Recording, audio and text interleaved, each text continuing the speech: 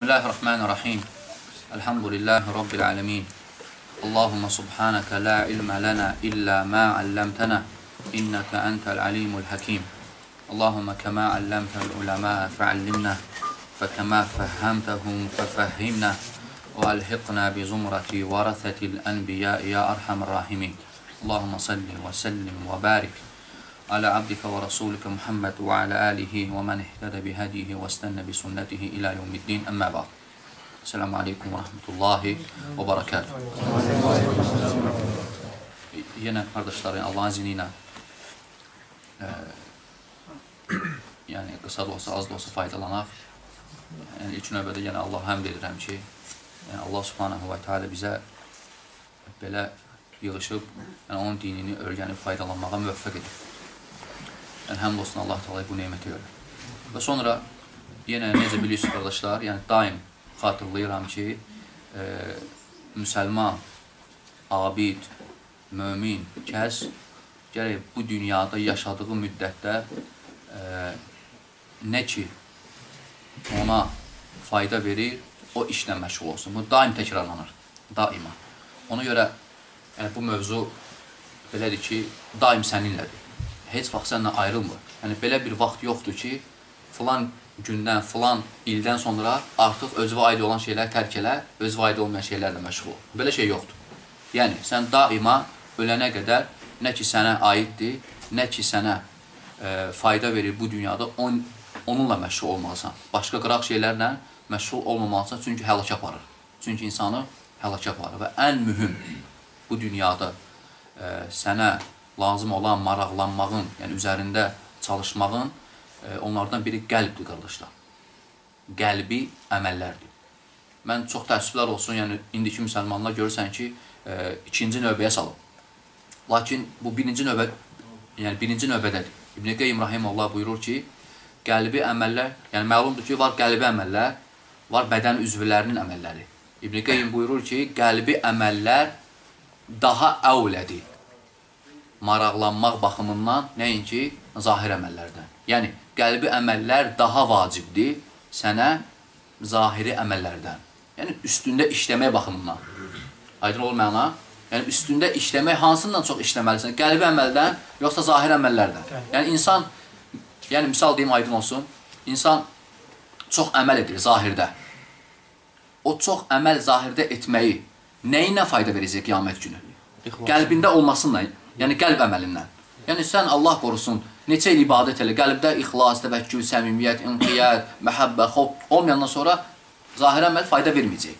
Ona görə, yəni insan qəlbi əməl e, qoşularsa əmələ, e, artıq fayda verəcək o əməl. İnsan vallahi çalışmalıdır ki, bu dünyada nə qədər ki, özünün qəlbini islah eləsin. Öz qəlbini islah eləsin. Ona görə e, Allah Tabaraka və Teala buyurur ki, Ələm ya'ni lillezine amanu ən təxşə'a qulubuhum li zikrillah. Yəni, iman gətirənlərin, iman gətirənlərə vaxt gəlib çatmadı ki, vaxtı gəlib çatmadı mı ki, onlar Allahın zikrini eşidəndə qəlbləri yumuşalsın. Yəni, e, yəni sənə nə olub ki, yəni iman gətirənlərə nə olub ki, Allah zikr olunduğu vaxt qəlbləri yəni yumuşalmır qəlbləri rahatlıq tapmır. Yəni bu bunun vaxtı gəlib çatmadı mı? Və ya misal üçün Peyğəmbər sallallahu əleyhi və səlləm buyurur ki: "İnnallaha la yanzuru ila əcsadikum və la ila suvarikum." Allah Taala sizin cəsədlərinizə, surətinizə baxmır. Yəni biri kökdür, biri arıqdır, biri şikəstdir, biri hündürdür, biri alçaqdır. Xeyr. Allah Taala buna baxmır. "Velakin yanzuru ilə qulubikum deyir Peyğəmbər sallallahu əleyhi və səlləm. Lakin Allah Taala sizin qəlbinizə baxır. Yəni Allahın baxdığı yer qardaşlar haradır? Qəlbdir. Yəni təsəvvür elə Allahın baxdığı yer qəlbdir. Sən qəlbini düzəltmirsən. Allah Taala sənin qəlbinə baxıb mükafat verir. Allah Taala sənin qəlbinə baxır. Yəni Allahın nəzər etdiyi yerdir. Ona görə insan ilk növbədə öz qəlbini düzəltməlidir. Qəlbi əməllərini, yəni qəlbində həsəd olmamalı, qəlbində e, şirk olmamalı, küfür olmamalı, nifaq olmamalıdır. Allah da ora baxır. Ona görə insan daha layiqdir ki, bu dünyada maraqlansın qəlbi əməllərinlə. Ona görə Allah Tabaraka və Teala buyurur ki: "Fəvaylun lil-qasiyeti qulubuhum min zikrillah. Vay olsun o kəslərə ki, onların qəlbi Allahın zikrindən qafildir. Hə? Vay olsun o kəslərə ki, onların qəlbi Allahın zikrindən qafildir. Yəni 30 yaşındasan, 40 yaşındasan, bir dəfə Allahu Akbar, Subhanallah, Allah böyükdür, əstəğfirullah deməmisən. Yoxdur, yəni insanın qəlbində Allah yoxdur. İnsanın qəlbində Allah xofu, Allah zikri yoxdur. Ona görə Allah Taala deyir ki, ayədə vay olsun o kəslərə ki, onların qəlbində e, Allah zikri yoxdur. Zikr eləmir Allahı. Müsibətdir bu. Həqiqi bəla, yəni insanın qəlbini Allahı tanımamasıdır. Həqiqi müsibət insanın insan qəlbi ilə Allahı tanımır. Yəni bir dəfə də başını qaldırıb səmaya baxıb deməyib Allahu Akbar və ya Subhanallah və ya Elhamdülillah. Qəlb Allahı tanımır. Ona görə İbn Qeym rahimehullah Mədərcü Səlikində buyurur ki, məfsədətul qalb xamsə. Qəlbi xarab edən, qəlbi korlayan, fəsadlaşdıran şeylər 5-dir. 5 dənədir. Hansı ki, qəlbi məhv eləyir. Həlak aparır. Və birincisi buyurur ki, rahimehullah, kəsrətul xalta. İnsanlara, insanlarla çoxlu ünsiyyətdə olmaq məşğuliyyət, insanların arasına qarışmaq. Yəni, insanlarla çoxlu ünsiyyətdə olmaq, qardaşlar, insanın qəlbini məhv eləyir. Yəni, yersiz yerə, heç bir faydasız yerdə gedirsən, oturursan cahillərlə çayxanada çay içirsən və söhbətləşirsən. Ünsiyyət. İnsanlara qarışmaq. Bu, insanın qəlbini öldürür, öldürür qardaşlar. İbn-i Qeym bunu, yəni qəlb qəlbi korlayan 5 şeylərdən birində zikr edir. Hətta orada zikr edir, Rahim Allah buyurur ki, məgər Əbu Talibə ölüm anında La ilahə illallah deməyə mane olan onun ətrafı olmadı mı? Kim mane oldu, qardaşlar? Əbu Talib öləndə.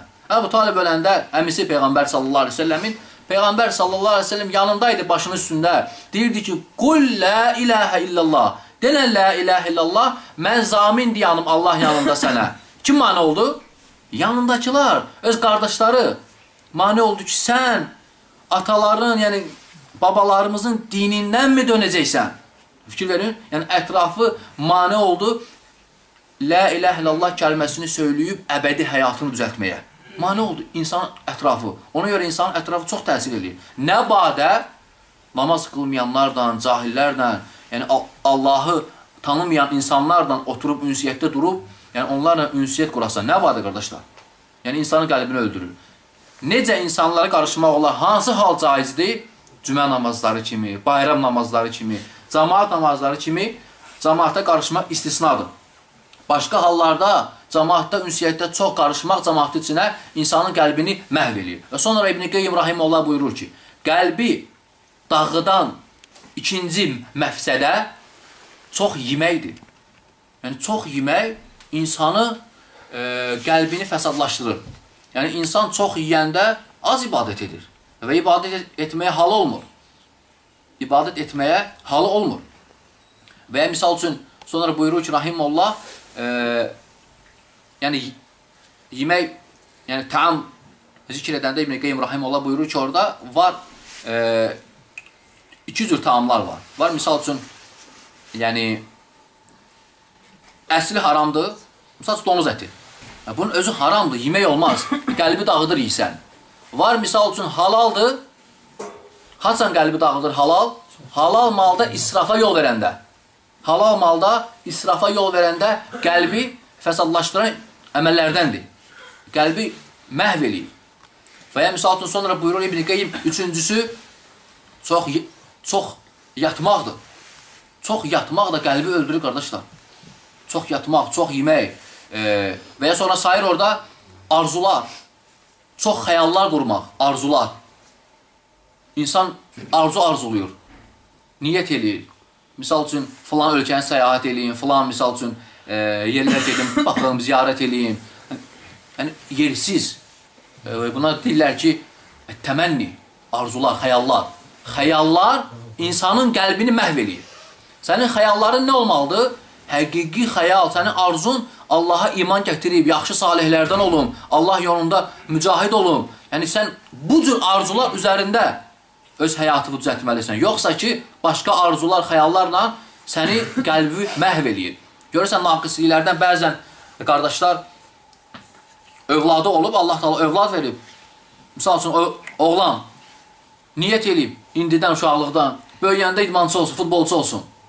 Böyüyəndə hansısa idman sahibi olsun, hansısa yəni, e, sənət üzərində, hansı ki, faydası yoxdur nə dininə, nə də dünyasına. Ona görə insan niyyət eləməlidir, öz uşaqları üçün xüsusən niyyət eləməlidir ki, salihlərdən Allahın dinini öyrənib yayanlardan olsun, alimlərdən olsun. Sən niyyət elə ki, ya Rabbi, sən özün özündən niyyət elə, istə, həris ol, rəğbətin olsun ki, övladın Allahın dininə çağıranlardan olsun qoy. Xus, yəni xüsusən də oğlan xeylağı. Oğlan uşağı, yəni sən niyyətli olmalısan ki, alim olsun, müştehid olsun qoy. İştihad əhli olsun. Niyyət elə ki, hansı universiteti qutarsın, hansı məktəb qutarsın, dini təhsil alsın. Yəni, naqisliklərdən görürsən ki, bəzi qardaşlar buna fikir vermir. Və bu da ə, cahiliyyə əməllərindəndir. Ona görə insan boş arzular deyil, yəni Allahın dinini, yəni Allahın dinini uca tutan, aparan səbəblərdən öz uşaqları üçün arzu etməlidir. Həmçinin qəlbi körlayan Beşinci şeylərdən ət-təalluq bi qeyrillah İbn Qeyyim deyir rahimehullah. Allahdan qeyrisinə bağlanmaq. Allahdan qeyrisinə bağlanan insan qəlbi həlak olur. Yəni sən qəlbini hara bağlıysansa, qəlb ora yönəlir qardaşlar.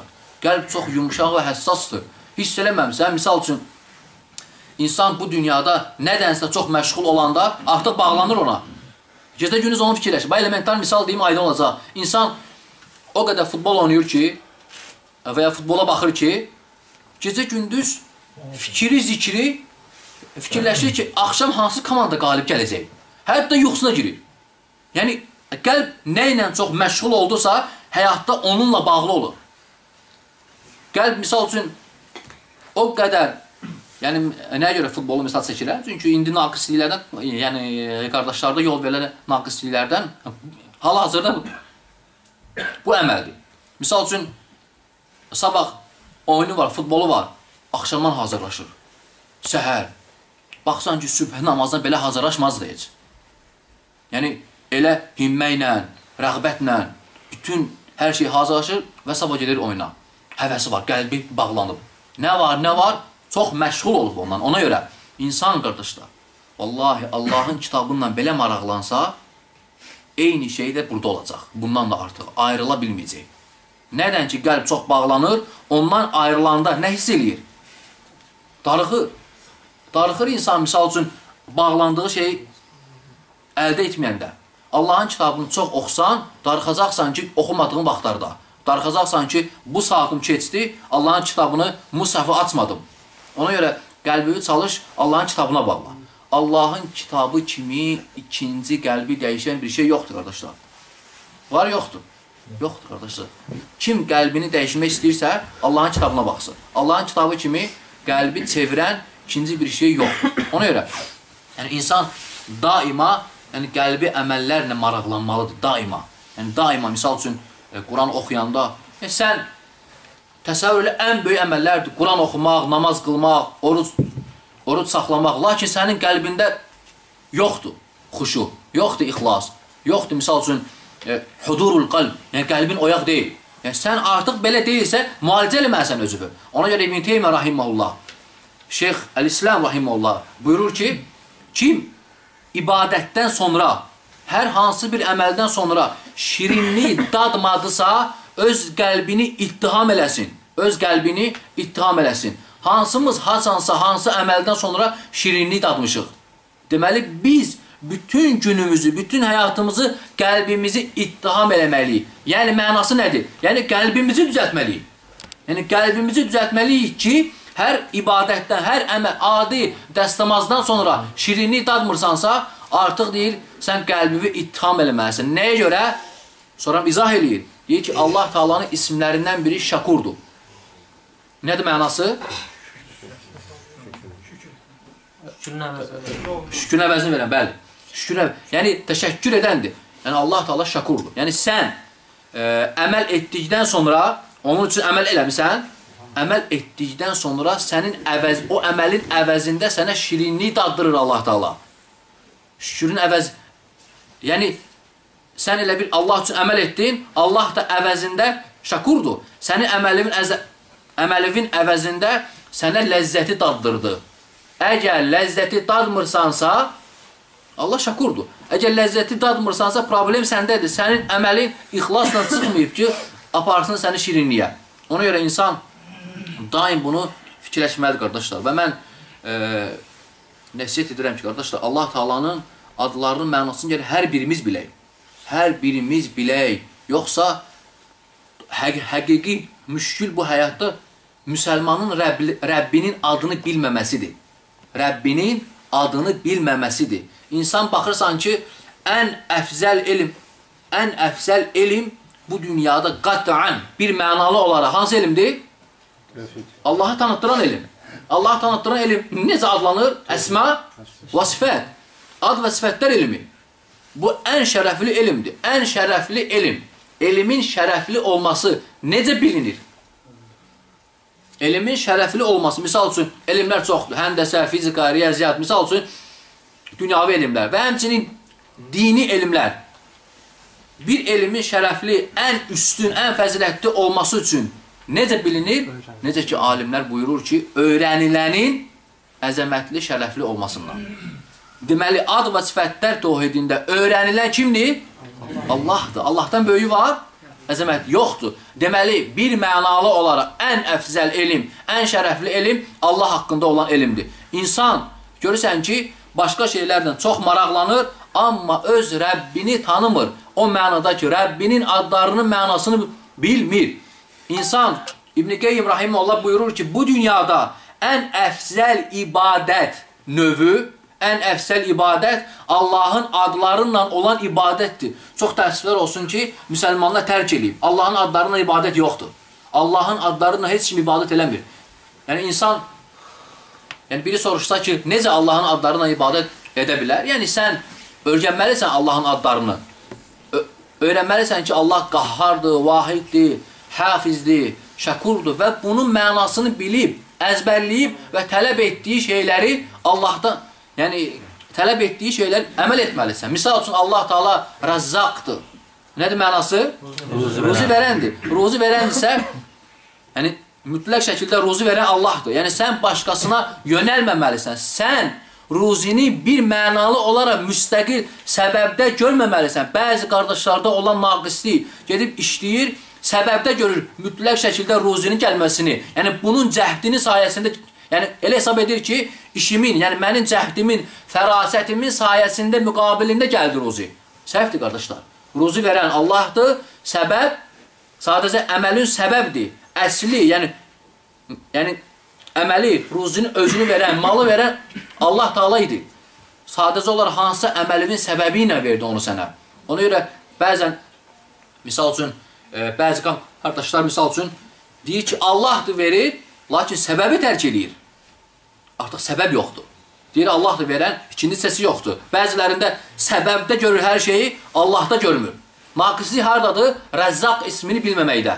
Allah Teala Rəzzaqdır. Misal üçün, Həlim ismi, Əl-Kərim, Əl-Vədud, Əl-Bər, Allah Teala isimləri. İnsan bunun mənasını mütləq bilməlidir, qardaşlar. İlk növbədə ən birinci bu həyatda məşğul olduğun iş olmalıdır. Allahı tanımaq. Allahı tanımaq ən şərəfli, ən qiymətli elmdir, qardaşlar. Ona görə sələflər deyirdilər ki, Xarəcə əhlü dünya minəd dünya və ləm yəzuqu atyəbə mə fiyhə. Dünya əhli dünyadan köçdü, dünyadakı ən gözəl ləzzəti dadmadan. Soruşdular ki, və mə atyəb? Nədir o ən gözəl ləzzət? Dedilər ki, mərifətullah. Allahı tanımaqdır. Ona görə Allahı tanımaq ən şərəfli elmdir, qardaşlar.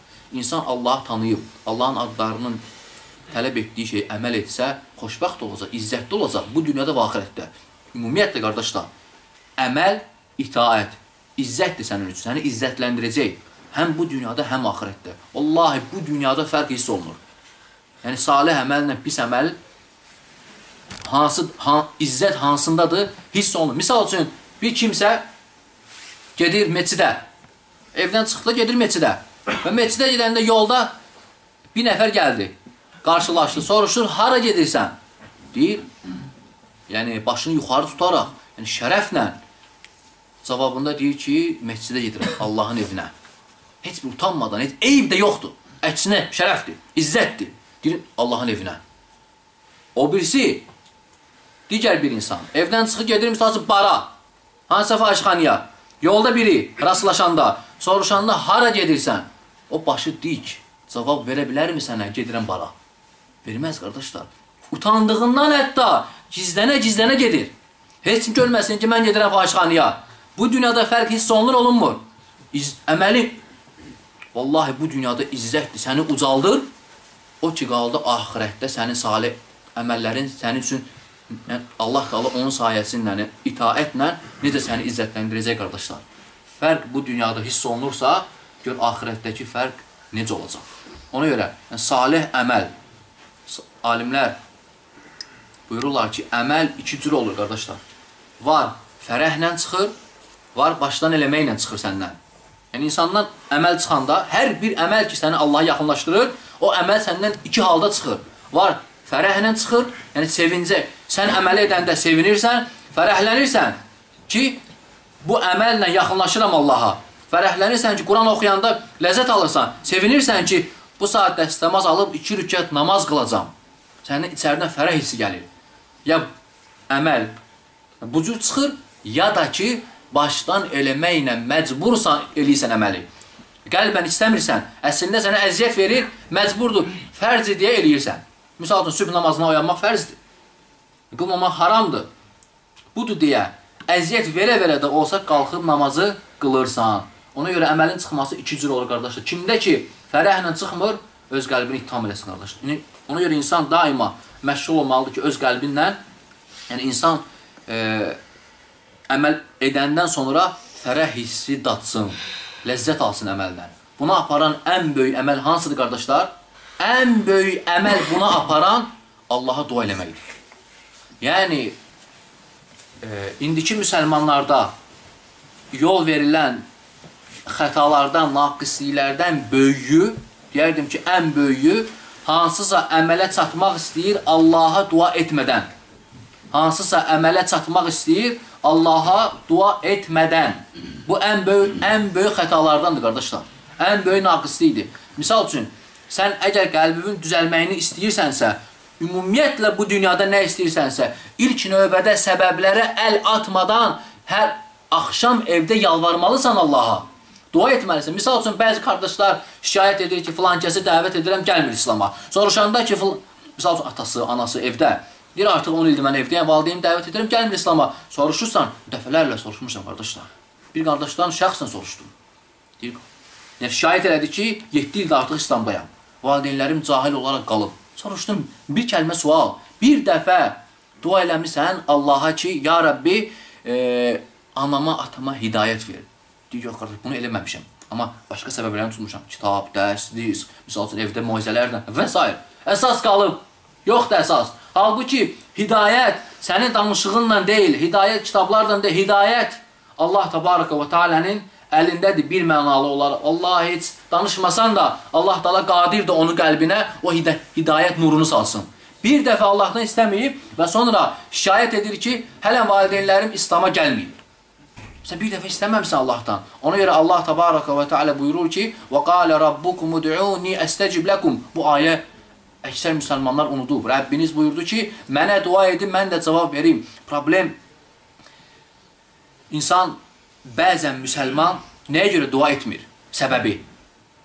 Bəzən insan, müsəlman, abid insan, mömin ona görə dua etmir ki, deyir, mənim dualarım qəbul olmur. Elə də elə deyil. Heç əlini qaldırıb dua etmir Allaha ən böyük səbəblərdən qardaşlar dua etməmişdən qabaq, yəni duanın qəbul olmasını istəyirsənsə bu dünyada, istəyirsən ki, Allah Taala duavı, duavı qəbul etsin, bir neçə əməllər var, şərtlər var. Mütləq riayət olunmalıdır ki, Allah Taala duava cavab versin. Onlardan birincisi hansıdır? İlk növbədə dua etməmişdən qabaq mütləq Allah Taala'nın hansısa bəndələrinə, yəni ehtiyaclı olan quluna sədaqə verməlisən. Yəni ədəblərdəndir bu. Ədəb məallah deyirlər buna. Allahla ədəbli olmaq. Necə? Yəni hardan çıxır? Yəni sən dua edib duanın qəbul olunmasını istəyirsən Allahdan, xeyir istəyirsən, ehsan istəyirsən ki, Allah Taala qəbul etsin. Bunu etməmişdən qabaq bu tərəfdən Allah Taala'nın hansısa bir möhtac quluna yardım edirsən. 1 manat da olsa, 2 manat da olsa, yəni az, çox fərqi, yəni fərq eləmir. Ehsan edirsən ki, bu tərəfdən Allahdan ehsan istəyirsən. Yaxşılıq istəyirsən. Ona görə Allah Taala'nın bəndəsinə yaxşılıq edirsən. Bu ilk attığın addım olmalıdır. Duadan əvvəl ilk attığın addım bu olmalıdır. İkincisi, dua edəndə çalışmalısan ki, duanı səcdədə eləyəsən. Yəni alnını yerə qoyub səcdədə eləyəsən o duanı. Nəyə görə? Çünki Peyğəmbər sallallahu əleyhi və səlləm buyurur ki, qulun Allaha ən yaxın olan vaxtı səcdə vaxtıdır. Yəni sən ən yaxın olan vaxtda istəmədin, getdin başqa vaxtda istədin. Hansı layiqdir? Yəni e, duanın qəbul olunması üçün ən yaxın olan vaxtdır. Yəni Allahla ən yaxın olan vaxt səcdədir, orada eləmirsən duanı. Yəni o dua daha layiqdir ki, qəbul olunmağa səcdədə olunub o dua. Ona görə Peyğəmbər sallallahu əleyhi və səlləm buyurur ki, "Fəctəhidu fid-dua." Odur ki, duada ictihad eləyin. Yəni çalışın duanı duanı çox eləyin səcdədə.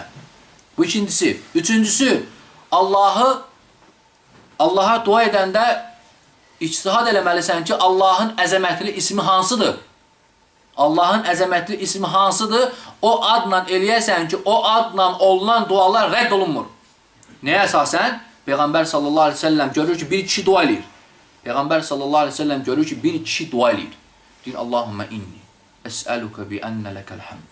La ilaha illa ent. El-Mennan, bedi'us semawati vel ard. Ya zal celal vel ikram, ya hayyu, ya qayyum." Bu duanı eləyir. Peyğəmbər sallallahu əleyhi və səlləm deyir ki ona: "Laqad sa'alallaha bismihil a'zam." Bu kişi Allah Taala'nın əzəmətli isimlərinlə dua elədi Allaha. İzə du'iyə bihi əcəb və izə suilə bihi ə'ta. Əgər Allah o isimlərlə dua olunanda, Allah o isimlərlə dua olunanda qəbul edir, istəniləndə cavab verir. Yəni, hədis bizə öyrədir ki, Allahın elə isimləri var ki, onlar onlarla çağırıldığı zaman dualar qəbul olunur. Və bu da bizə öyrədir ki, sən dua edəndə ictihad eləməlisən ki, Allah Taala'nın bu ismi hansıdır? O ilə çağırasan Allahı, ya Allah, ya Hayyu, ya Qayyum və s. hansıdırsa.